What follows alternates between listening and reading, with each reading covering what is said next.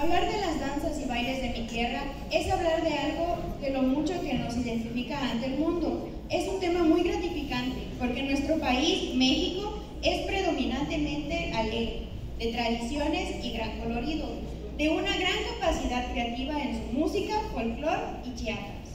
El baile del saco representa algunas de las comunidades que habitan en la ribera del río Grijalva, Usumacinta y otros pequeños, en especial de la ciudad Tuxtlachico, que en temporada de lluvias provoca que se desate una temporada de sapos, representados por los hombres y las mujeres, los espantan con sus abanicos de palma o sus faldas, así como los brincos o pasos que realizan. Continuamos.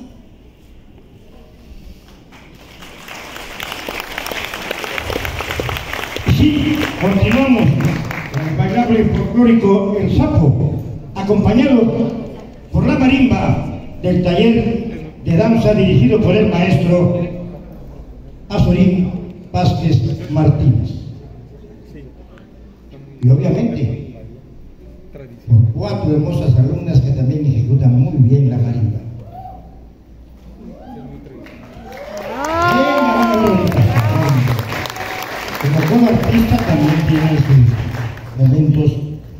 Sobre todo también nos acompaña la batería la maestra Isabel, la maestra Claudia los contas.